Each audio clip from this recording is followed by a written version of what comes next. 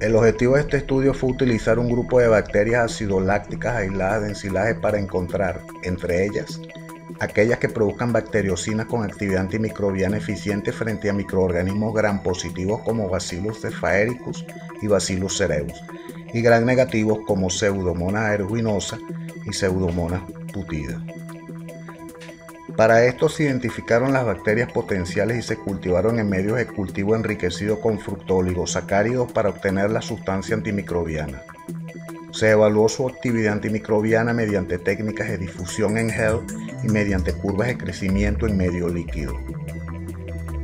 Las bacterias estudiadas se caracterizaron como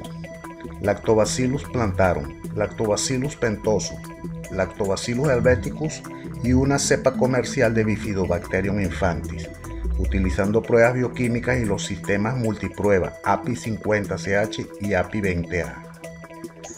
se encontró que la adición de fructooligosacáridos a la producción de bacteriocinas aumentó la potencia de la sustancia producida, al igual que la velocidad de crecimiento en la fase exponencial del microorganismo. La actividad antimicrobiana fue muy prometedora, principalmente contra la pseudomonas,